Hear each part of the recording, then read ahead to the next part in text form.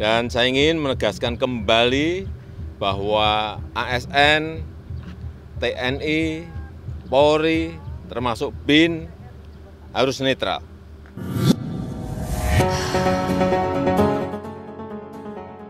Presiden Joko Widodo menegaskan bahwa dirinya tidak akan turun kampanye pada pelaksanaan pemilu 2024 mendatang.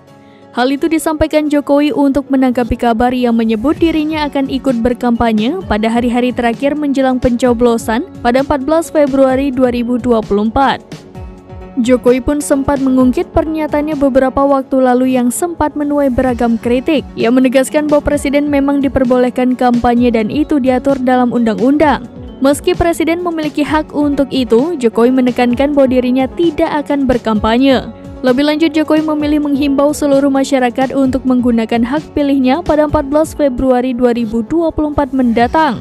Ia juga meminta ASN, TNI, Polri, hingga Badan Intelijen Negara untuk netral demi menjaga kedaulatan rakyat pada masa pemilu ini. Tak lupa Jokowi juga memberikan instruksi kepada Komisi Pemilihan Umum hingga Badan Pengawas Pemilu untuk memastikan jalannya pemilu yang berintegritas.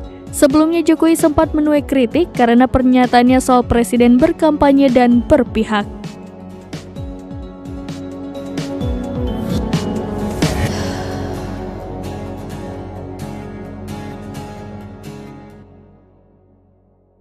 Download Tribun X sekarang menghadirkan lokal menjadi Indonesia.